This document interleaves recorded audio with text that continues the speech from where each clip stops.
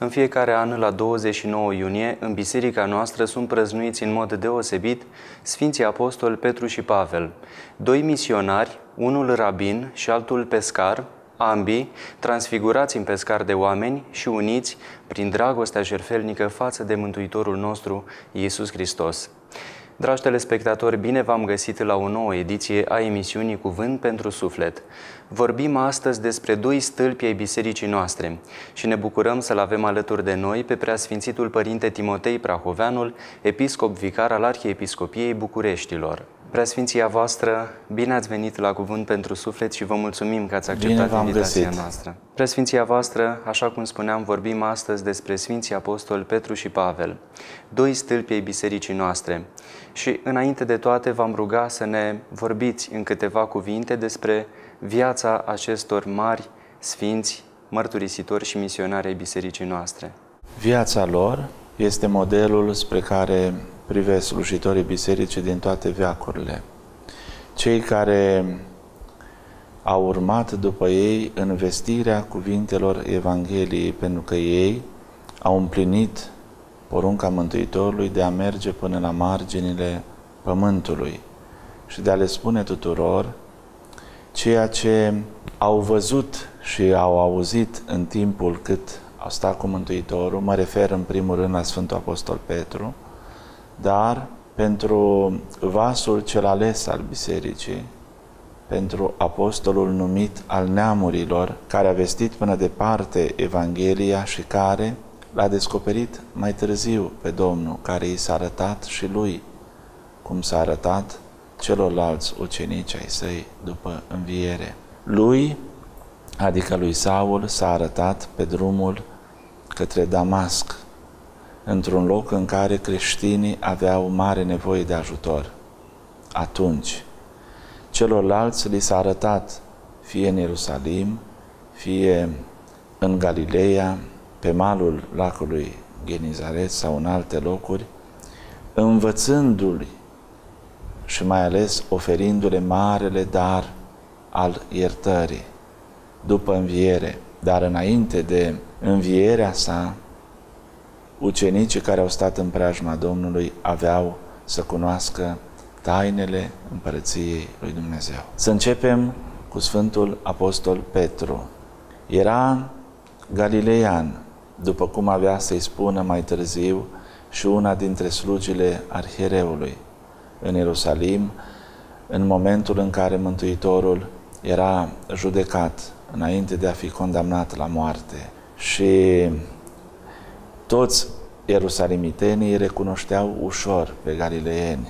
Este undeva în apropiere de mănăstirea de astăzi a înălțării Domnului de pe muntele Eleonului, un loc numit în tradiția ierusalimiteană Mica Galilee. Acolo, în spațiul respectiv, galileienii poposeau întotdeauna când veneau la Ierusalim.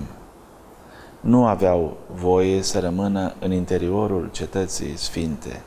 Erau recunoscuți de toți ca fiind conflictuali, gălăgioși și de aceea, când veneau la marele sărbători, aveau un loc special pentru popas.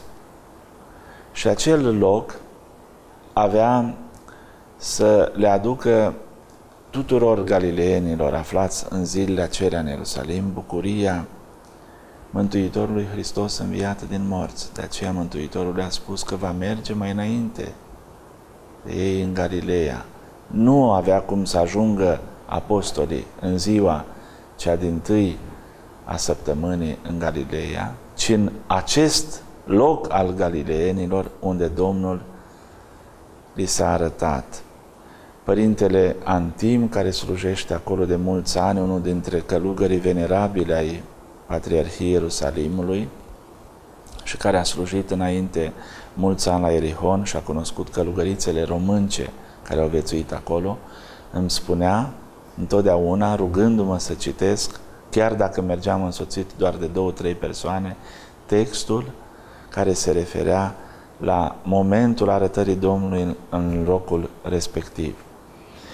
Deci, Galilean, pescar, om simplu, căsătorit după tradiție rudă cu Sfântul Apostol Barnaba, doi copii, o soacră bolnavă, suferindă pe care Mântuitor avea să o vindece, ucenic al Sfântului Ioan Botezătorul, până când acesta a fost închis și apoi decapitat, apoi următor al Mântuitorului, lăsând toate, ne spune Evanghelia, l-a urmat pe el. El împreună cu fratele Andrei, care aveau să meargă cu Mântuitorul în drumurile pe care acesta le-a făcut în Țara Sfântă, ascultând cuvinte pe care nimeni altcineva nu le-a mai auzit și bucurându-se de minunile pe care Domnul le-a săvârșit.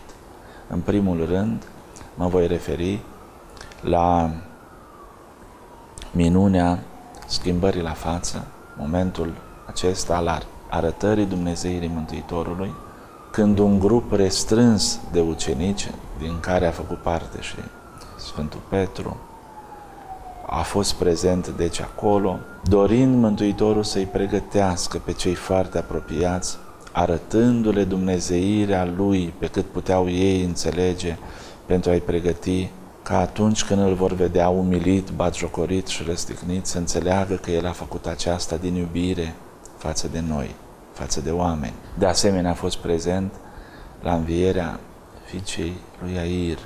A vorbit de multe ori în numele apostolilor.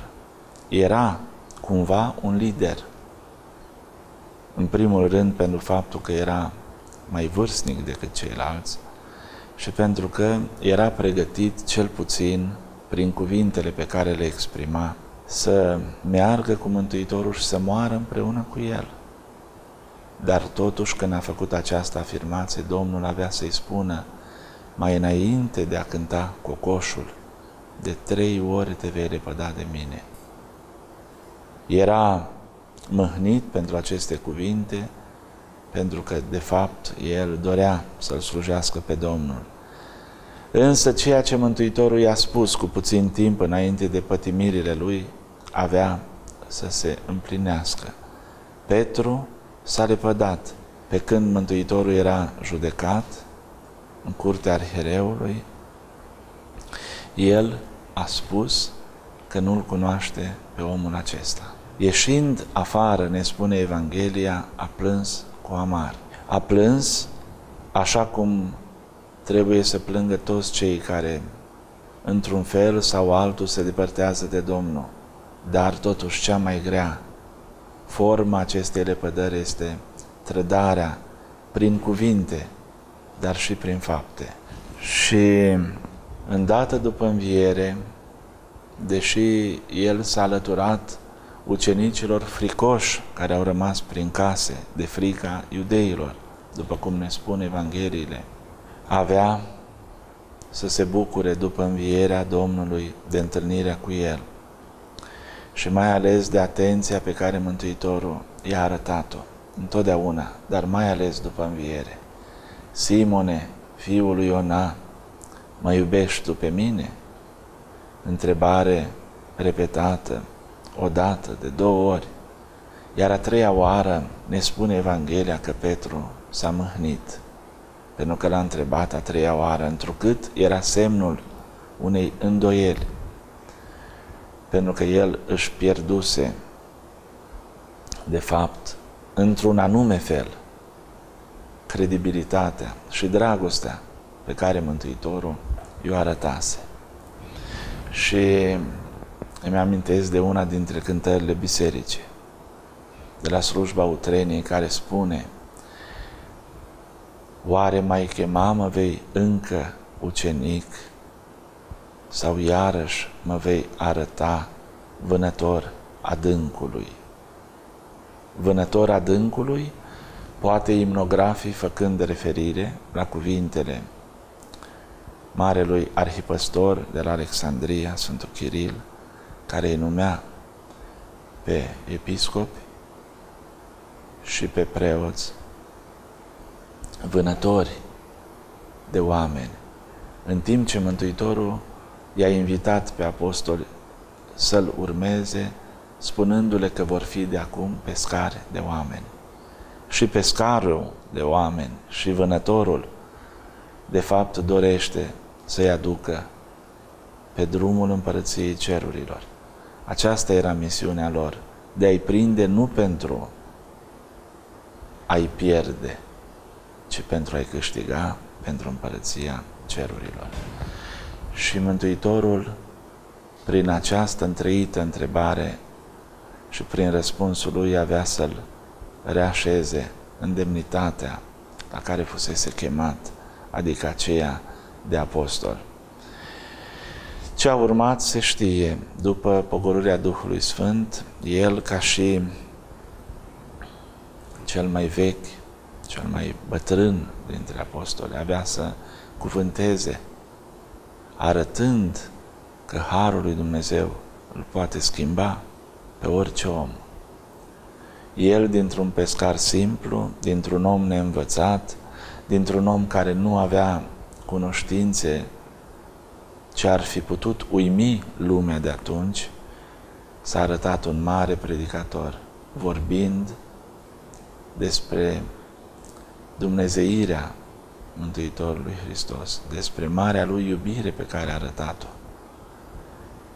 Și arătându-se prin ceea ce se întâmpla atunci în Ierusalim ca un urmaș al Domnului și încă din ziua aceea s-au botezat, după cum se știe, ca la 3000 de suflete. 3000 de suflete pentru Ierusalimul de atunci era foarte mult. Ar fi foarte mult și acum, dar atunci însemna foarte mult. Iar astfel de convertiri, astfel de întoarceri către Hristos sau unor oameni care nici n-au auzit de El sau care îl contestau chiar, aveau să se întâmple frecvent.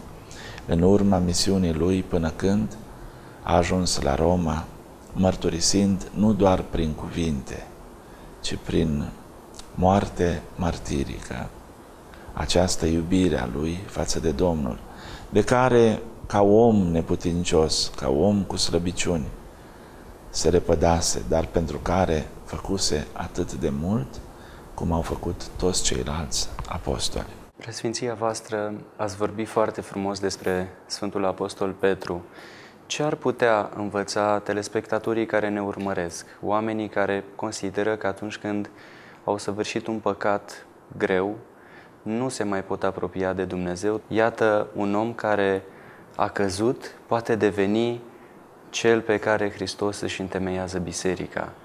Ce învățăm noi de la Sfântul Apostol Petru? De la Sfântul Apostol Petru avem multe de învățat. În primul rând, exemplul acesta pe care ne-l oferă el împreună cu fratele său Andrei, cei din tâi chemat, chemați la apostolat, exemplul și puterea de a lăsa toate și de a-L urma pe Domnul este o piatră de încercare pentru mulți dintre noi. Deși spunem adeseori la nivelul acesta al cuvintelor că facem multe sau că cel puțin dorim să facem, în realitate, noi nu reușim să părăsim toate ale noastre și să-L urmăm pe Domnul. De aceea, exemplul lor este un permanent exercițiu pentru toți slujitorii bisericii. Și uh, această urmare a Domnului pe care avea să, și, să o și amintească Mântuitorului la un moment dat. Noi, Doamne, cei care am lăsat toate, am lăsat mamă, tată, femeie, copii, rudenii, țarine, pentru numele Tău, ce vom avea? Pentru că erau și ei întrebători, cum sunt oamenii, așteptând poate ceva mai mult decât, deși ei primiseră totul, aveau bucuria de a fi lângă Dumnezeu întrupat, făcut om, venit în lume pentru a-i mântui pe oameni. Dar totuși au întrebat și atunci Mântuitorul i-a spus lui Petru și prin el celorlalți, însutit veți avea și viață veșnică veți moșteni. Mai mult decât atât, niciun om nu poate primi. Ce ar fi însemnat să primească atunci un mijloc de locomoție, poate un animal bun pe care ar fi putut călători sau o proprietate era prea puțin în comparație cu ceea ce le-a oferit Mântuitorul. Însutit veți primi și viață veșnică veți dobândi. Acesta este primul lucru pe care trebuie să-l învățăm. Mai învățăm apoi că pocăința Sfântului Petru a fost uh, apreciată de Mântuitorul. De ce credeți că Mântuitorul în mod special l-a întrebat de trei ori dacă îl iubește? Pentru a răscumpăra lepădarea lui, pentru a-l ierta, pentru că plânsul, după cum spun Sfinții Părinți ai Bisericii, lacrimile de pocăință, sunt al doilea botez. Sunt oameni care au puterea de a lăcrima și sunt mulți oameni care nu acceptă că au greșit vreodată. Sunt foarte mulți oameni care, în loc să-și vadă propriile lor păcate, le observă ușor pe ale altora și uită să plângă cum a plâns Petru, cu amar. Când plângi cu amar înseamnă că plânsul este de undeva din lăuntru și că îți pare cu adevărat rău pentru greșeala ta. Dacă am avea aceeași experiență a plânsului cu amar, cu siguranță că Domnul își va face milă de noi și mai mult decât milă își va arăta iubirea sa, cum a arătat-o față de unul dintre ucenici care s-a lepădat, dar care n-a rămas în starea aceea, ci a dorit să se întoarcă, iar plânsul cu amar a fost prima treaptă a acestei întoarceri. Preasfinția voastră, ce am putea învăța de la Sfântul Apostol Pavel, unul dintre cei care l-au contestat pe Mântuitorul nostru Isus Hristos, așa cum ați menționat un pic mai devreme. La Ierusalim era o veche tradiție a școlii rabinice, a marilor învățați, care an la rând, din copilărie până la vârsta când puteau predica, pentru că nu puteau predica la orice vârstă, învățau la picioarele marilor dascăli ai legii celei vechi. Și între învățații sau mari teologi care le vorbea despre Dumnezeu se afla atunci în Ierusalim un anume Gamaliel, învățat, dar și om care înțelegea lucrarea lui Dumnezeu în lume. Pentru că sunt foarte mulți oameni învățați care țin foarte mult doar la propriile lor teorii. Gamaliel avea să cunoască adevărul treptat și cu siguranță l-a auzit pe Mântuitorul de mai multe ori vorbind. N-avea cum să-l accepte în mod oficial. El, membru al Sinedrului, printre bărbații cinstiți atunci în Țara Sfântă și mai ales în orașul Ierusalim, n-aveau cum să vorbească pe față despre această învățătură, chiar dacă o acceptau, pentru că inima lui era de fapt deschisă dincolo de barierele sau de hotarele pe care le impunea legea și slujitorii acesteia. Și între ucenicii lui, pentru că a avut atât de mulți ucenici, nici nu știm exact care era numărul lor, s-a aflat și Saul din Tars, cetățean roman, un om care înțelegea legea și o urma fără cârtire. Nu accepta nicio altă învățătură. De aceea, prezența lui la lapidarea, la omorârea cu pietre a Sfântului Ștefan, întâiul diacon, avea să confirme acest lucru. Se bucura când vedea că este omorât cu atâta sânge rece un om care avea o altă învățătură. Și din simpla asistare la uciderea lui Ștefan, avea să ajungă la urmărirea creștinilor care se aflau dincolo de Ierusalim, la Damasc, cale lungă pentru vremea aceea, cetate spre care a călătorit cu scrisori de la mai mari slujitori ai legii din Ierusalim pentru a-i aduce la Ierusalim pentru a fi judecați și omorâți. Dar pe drumul acesta către Damasc are o revelație care îi schimbă viața. Ziua în amiază mare, deci nu era o nălucire în timpul nopții, în timpul somnului, ci ziua în amiază mare, o lumină mai puternică decât a soarelui, pentru că soarele dreptății era cel care zidise luminătorii și apariția lui era mai puternică decât a soarelui creat de el împreună cu celelalte persoane ale Preasfintei Treim. Și în această lumină strălucitoare, ziua în amiaza mare, a auzit un glas, Saule, Saule, ti mediochis, de ce mă urmărești? Cine ești, Doamne? A căzut cu fața în pulbera drumului și n-a mai văzut nimic. Dar a auzit că era Isus pe care el îl prigonise. Și și s-a spus ce trebuie să facă. Mergi în cetate, pe ulița numită dreaptă și vei găsi acolo un om cu numele Anania, care mi este vas ales, și celelalte. Și a fost botezat. Și a treia zi, solzii de pe ochii lui au căzut. Era o altă vedere și un alt om. Dar ucenicii Domnului erau îngrijorați pentru că îl știau ca pe un mare prigonitor. Aproape că nu vroiau să-l accepte, nu doreau să-l accepte în cercul lor.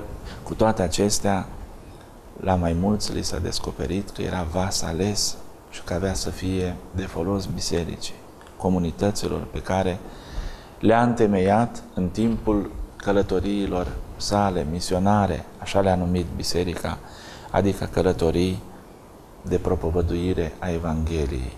Avea să și mărturisească el în călătorii adeseori, în primejdii, pe mare, pe uscat, în primejdii între frații mincinoși. De câte ori avea să fie biciuit, de câte ori avea să se sfărâme corabia cu el și spune, am petrecut o zi și o noapte în pântecele mării, într-o traducere, în altă traducere, pe întinsul mării, adică naufragiind și poate având ca ajutor vreo bucată de scândură din corabia care se sfărâmase de valori împreună cu toate celelalte din ea.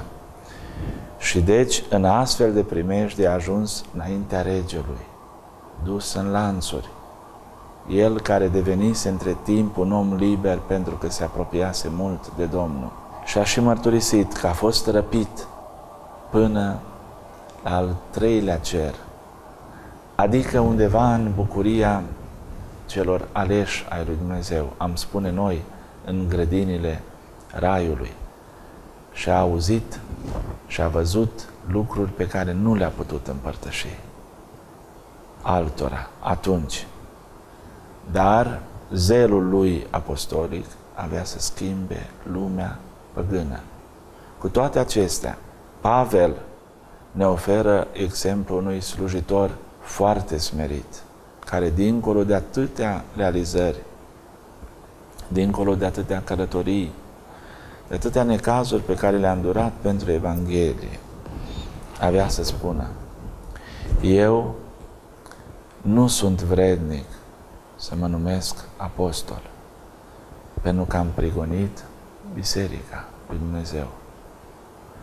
Și a vorbit, a vorbit despre arătările Domnului după înviere, amintindu-le pe toate pe care le știm, mai întâi femeile mironosițe, apostolii, cei 500 de frați și așa mai departe, multora din Galileea, și a adăugat, și la urmă mi s-a arătat și mie,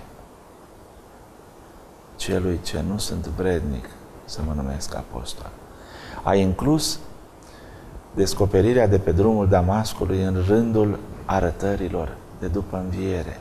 toată activitatea sa de după momentul întâlnirii cu Domnul pe drumul Damascului a fost, de fapt, o rară mărturisire de iubire. Și nimeni nu se poate așeza înaintea lui, chiar dacă a fost prigonitor la început, dar a devenit vas ales și apostol al neamurilor, întemeind biserici și arătând în toate, dincolo de ceea ce a făcut marea grijă pentru bisericile pe care le-a întemeiat, adică pentru comunitățile înființate. A avut curajul mărturisirii, vorbind celor mari și celor mici, celor simpli și celor învățați, filozofilor și oamenilor care trecuseră prin școli, pregătit în mod special de învățătura de la școala rabinică și vorbindu-le tuturor acestora despre Domnul cel înviat din morți. Avea să închidă gura filozofilor atenieni și a celor mari pe care i-a întâlnit. Avea să înțeleagă că viața lui era de fapt slujirea Domnului pentru a răscumpăra zilele când nu l-a cunoscut pe Domnul și spunând chiar că atunci, în vremea neștiinței, regretând chiar vremea neștiinței și a ostilității arătată față de învățătura Domnului și față de ucenicii lui. Gamaliel avea mai târziu să ia apărarea apostolilor. Într-un moment delicat prin care treceau aceștia, a avut curajul să se ridice și el în plenul Sinedrului și să spună, dacă această învățătură este de la oameni, va pieri. Dacă este de la Dumnezeu, nu îi veți putea face nimic. Și a mai avut câteva intervenții. Ce s-a întâmplat cu Gamaliel? A căzut în disgrație. Se întâmplă adeseori cu oamenii care nu sunt pe plac să cadă în disgrație. Dar este cel mai greu când cădem în disgrația lui Dumnezeu. Gamaliel avea să fie îndepărtat din Sinedru. S-a retras într-un loc unde avea o casă și o proprietate la vreo 15-20 de kilometri de Ierusalim, Bet el Jamal sau casa lui Gamaliel. Acolo s-a descoperit un mormânt peste care s-a ridicat în primele veacuri o bisericuță, o criptă, și erau trecute câteva nume. Gamaliel fusese îngropat acolo, Stefanos, adică Ștefan, și câțiva apropiați ai lui Gamaliel, unul dintre ei, Iosif din Arimateia, care provenea din apropiere de satul lui Gamaliel. Ce se întâmplase de fapt? Pe ulițele Ierusalimului două zile au rămas moaștele, spunem noi, adică trupul, a rămas trupul întâiului mucenic și arhidiacon al bisericii, Ștefan. Nu îndrăznea nimeni să le ia, pentru că făcuse o mărturisire care atingea învățătura lor. El văzuse cerurile deschise și Gamaliel l-a luat și l-a îngropat în satul lui. De aceea, după ani, moaștele Sfântului Ștefan au fost descoperite și aduse de împărați bizantini pe muntele Leon mai întâi și în alte locuri, iar unele particele sau fragmente se păstrează până astăzi.